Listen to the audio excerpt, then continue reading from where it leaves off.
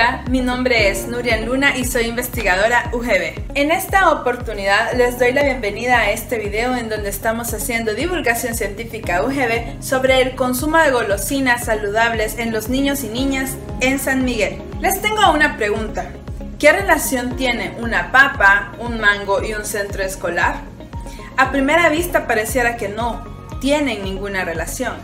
Pero quédate conmigo en el video y descubrirás cuál es la relación que existe entre estas tres cosas. La Organización Mundial de la Salud ha estimado que cuando una persona durante su infancia padeció o tuvo problemas de obesidad, durante su vida adulta continúa teniendo este tipo de problemas.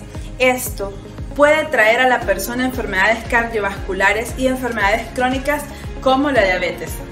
En nuestro país, El Salvador, cerca del 32% de mujeres y 20% de hombres padecen problemas o tienen problemas de obesidad. Estas cifras son altas y también preocupantes, por lo que el Ministerio de Salud y el Ministerio de Educación, con el objetivo de mermar un poco estas cifras, establecen lo que son los cafetines escolares saludables, quitando de todas las mm, tiendas escolares todos aquellos alimentos que presenten alto contenido en grasas, sodio y azúcares, lo que deja a los niños con pocas opciones para poder comprar durante sus recesos. Y ahí viene parte de toda esta problemática, la pregunta que nos hacemos como grupo investigador. ¿Qué comen nuestros niños y niñas en las escuelas? Qué les gusta comer, qué prefieren comer ahora que muchos de los productos han sido removidos de los cafetines escolares. Nos encaminamos a poderles preguntar a nuestros niños y niñas y pues obtuvimos muchas respuestas y que son muy enriquecedoras. Estamos escuchando lo que los niños y niñas quieren comer en realidad. Dentro de las preferencias de nuestros niños y niñas en San Miguel, adivinen qué está las papas.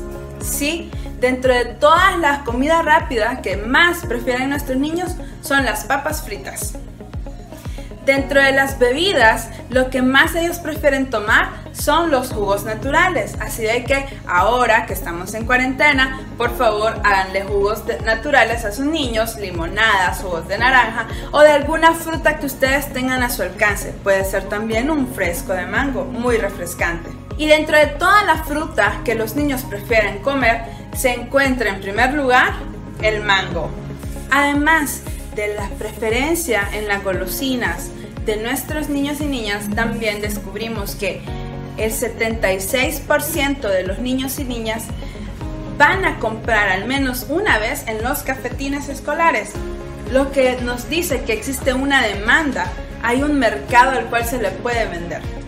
Toda esta información es importante para todos aquellos dueños de los cafetines, pero también para todos los emprendedores que se encuentran en el rubro de alimentos y que quieren innovar.